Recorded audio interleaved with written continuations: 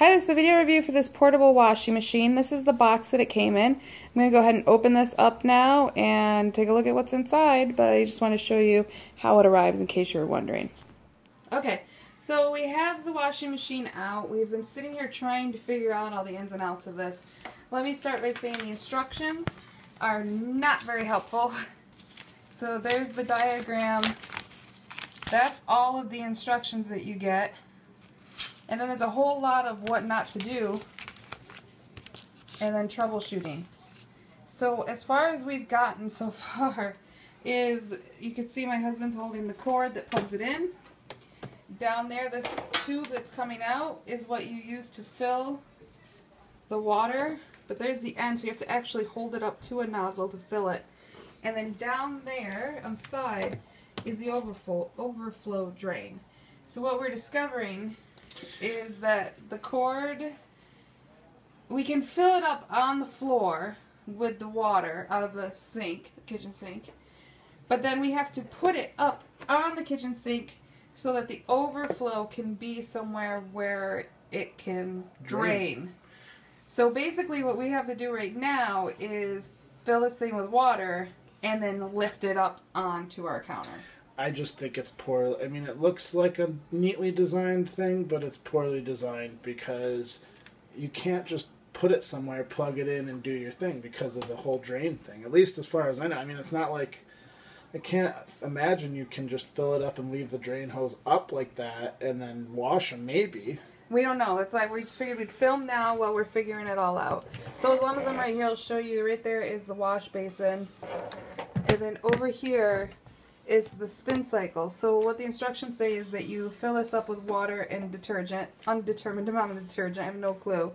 And you put the clothes in there and set the timer for them to wash. And then you take them out and put them in here for your spin cycle and then you take them and then you drain this side and you take them back out and put them back in here with fresh water to finish rinsing. So, um, and then also you have to fill up this side. So you have to fill up this side and then this side and then this side again. And then you might want to add that it's not actually a dryer dryer. No, it's not a dryer. All it is is a washer with a spin cycle to sort of squeegee out your clothes so that you can dry them or line dry them. Yeah. It's the best way I can put it. So we're gonna go ahead and give it a whirl, see what happens. All right, I guess Come along would, for the ride. I guess you would fill it up with your clothes first, right? Ah, uh, yes. Fill it, fill it up with our clothes first. I'm gonna go ahead and pause or stop, and then I'll be back with more stuff because our dog has to go out too. So we'll be back. We're gonna try. Okay, we've decided to start with a towel and a shirt. And that that filled up pretty quick. I mean, well, I mean, you could probably even put with a regular washer, you could probably still... put a set of clothes in there. Yeah, or maybe like three towels max. Okay. So yeah, we're gonna. All right, here we go. Hot or cold? What? Um, just warm.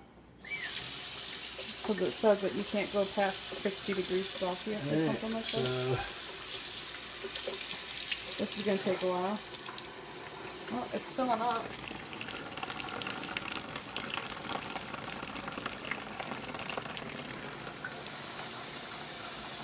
The machine is peeing.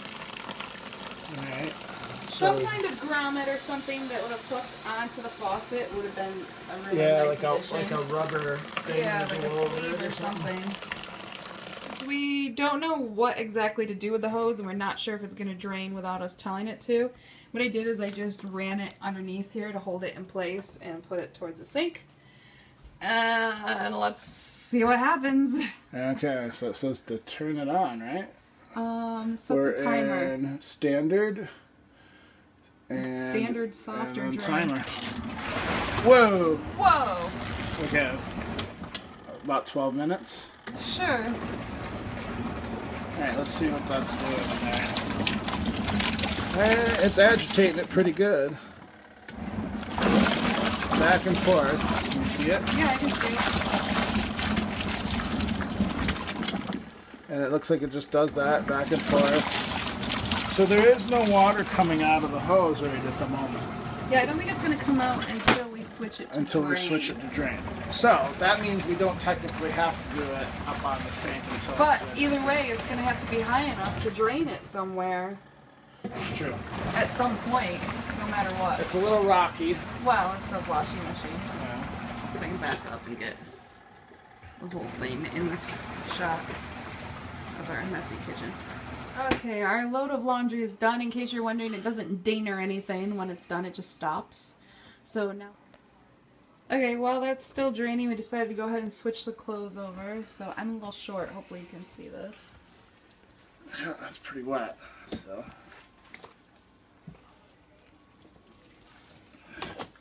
And then. There's the towel.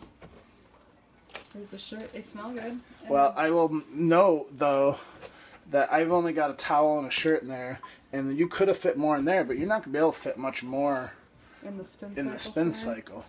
So you're only gonna fit be able to fit a couple clothes in there. Now you just put that in there on top. We're guessing that's all you do is put that in there on top of there. There's really nothing in the instructions. It. So then we're closing. Close Now that. it also now this I also noticed It doesn't close it doesn't the way. close all the way.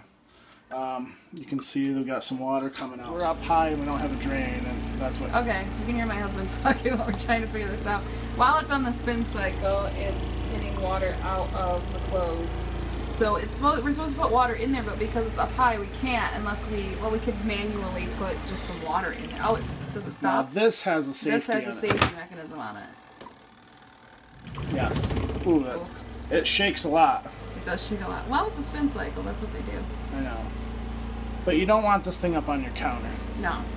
So, but what I did notice is with this drain, it looks like there's a there's like a, a coupling so you can extend the hose, I suppose.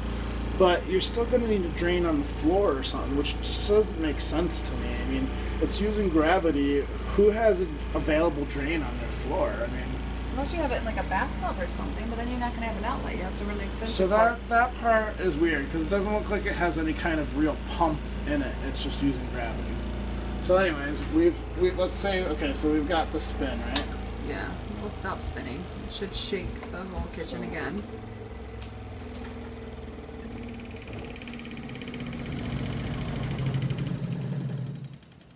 Okay. Fine. Alright.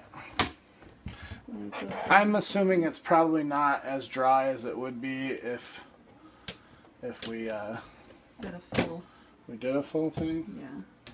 I'm assuming that's in there to keep it from shooting up and out. It is consider- considerably drier now. Yeah, you can tell. and then I guess you would throw it back in You throw here, it back right? in here, and then you, Even that one's considerably Yeah, you can drier. tell it's not sopping. Um, you throw it back in there with clean water, and just rinse it again. And then I would think spin it again, Yeah, and then you should be done. You can hang them on the line or put them in the dryer which I don't think whatever. we need to film that. Yeah, we're not gonna film it. Sorry, battery's dying, and we're kind of exhausted. So, But I um, mean, but at least you can see how it works. You can see the design flaws with it. You can see what's good, what's bad about it. Um, anything else you can think to add, Brandon? um, no, I mean We were thinking that this would be nice when we're camping, but there's in the instructions it says not to use it outside. So yeah, well, I think that's because of the. I think they're just worried about it getting wet. Is mainly what it is. Actually, I think they're worried. I mean, about... it would be good outside. It would be a good outside the camper if you just let that run, but you're then you're running you, then you're running soapy, Soapy water. water. just into the ground, which isn't cool. That's not cool. So I guess that's it. If you have any questions, feel free to leave a comment. I'll try my best to help you out. Um, we'll try to test it a little bit more It and see if we come cool. across anything. Yeah, it does look cool. I love the color. Yeah, it's it's neat looking. I, I guess. we'll I give mean, it we'll give it a thumbs up for I guess for all those ti- tiny house hunters out there that Yes, have, if you're a tiny house hunter. right? Because we've been watching that show a lot lately. So yeah, if you're a tiny house hunter, maybe you'll want a tiny weird washing machine for your tiny house. I think like the only problem with this thing is finding the proper drainage for it. yeah, it's that's a the drainage and then a, pro- a place to put it where you can fill it properly. And it's just in our old retro kitchen, we're just not finding a way to use it properly. But if you have any uh, questions, any comments, any suggestions, feel free to leave them and I will try to get back to you. But for now, we hope that this helps you out a little bit. All right, say bye, Brandon. Bye, Brandon.